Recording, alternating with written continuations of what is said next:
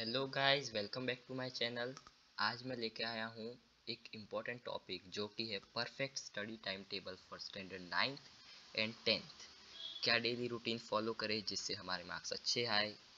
कौन से टाइम पे कौन सी एक्टिविटी करें? स्टडी सब इसमें मेंटेन किया गया है, वो भी अच्छी तरह से ट्यूशन्स और स्कूल सबका ध्यान रखते हुए। सो लेट्स गेट स्टार्टेड सात बजे। सेवन ए को अवेक उठ जाओ सात बजे। छः बजे उठने की कोई ज़रूरत नहीं है, ना कि आप यूपीएससी या जीपीएससी सॉल्व करें नाइन्थ या टेंथ है। इसलिए सात बजे उठ जाओ अच्छा रहेगा। फिर सेवन टू एट फ्रेश हो जाओ। आपको जो कॉफ़ी पीनी हो, चाय पीनी हो, नहाना हो ब्रश सब सेवन टू एट के बीच में कर लो। आठ बजे उठ के अच्छे से स्कूल्स अगर स्कूल्स है तो स्कूल्स और online classes online classes attend करने बैठ जाओ। आठ से बारह के बीच में। Twelve to one mobile time and lunch twelve to one जैसे बारह से साढ़े बारह, आधा घंटा मोबाइल टाइम और साढ़े बारह साढ़े बारह से एक बजे तक लंच कर लो, आपकी मर्ज़ी। फिर one to two, school homework. ये बच्चों को बहुत डिफ़िकल्ट लगता है कि स्कूल का होमवर्क का टाइम कैसे मेंटेन करें।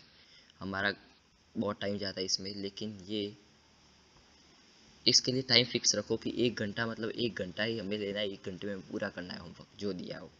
अभी ऑनलाइन में तो अक्सर ऐसा होमवर्क देते नहीं, लेकिन तो भी वन आवर में तो हमें होमवर्क कंप्लीट करना है पीडीएफ लिखनी है या जो करना।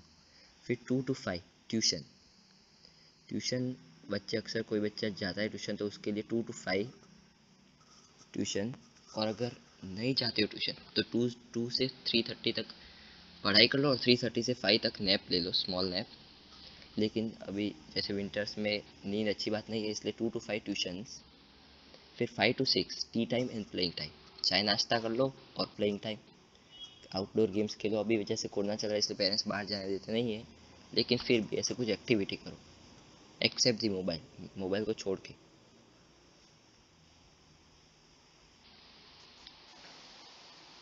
फिर six to eight self study कर लो, ये सेल्फ स्टडी ही होनी चाहिए।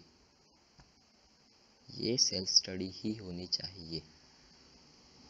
फिर eight to nine dinner and mobile time फिर nine to nine thirty family time बच्चे अक्सर फैमिली टाइम स्पेंड नहीं करते, लेकिन ये बहुत इंपॉर्टेंट है।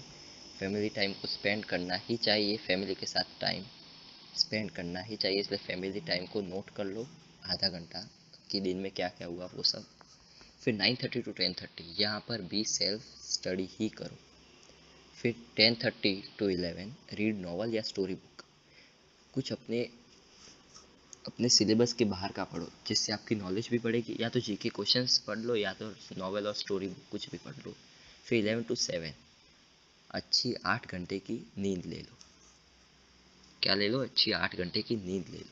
फिर average time for each activity self study के लिए तीन घंटे हो गए होमवर्क के लिए एक घंटा हो गया स्कूल टाइम फोर आवर्स का हो गया ट्यूशन थ्री आवर्स का हो गया मोबाइल टाइम वन आवर का हो गया स्लीप हो गई आठ घंटे की। बाकी सब जो टाइम है प्लेइंग रेस्ट फ़ूड वो हो गया फोर घंटे। फोर आवर्स का वो हो गया। अगर ये टाइम टेबल फॉलो करोगे करोगे तो आई एम डैम श्योर कि आपके नाइन्टी नाइन्टी परसेंट तो आने ही आने हैं। और वो भी अच्छी तरह से अगर ध्यान रखा तो आपके नाइन्टी परसेंट तो आने ही आने हैं।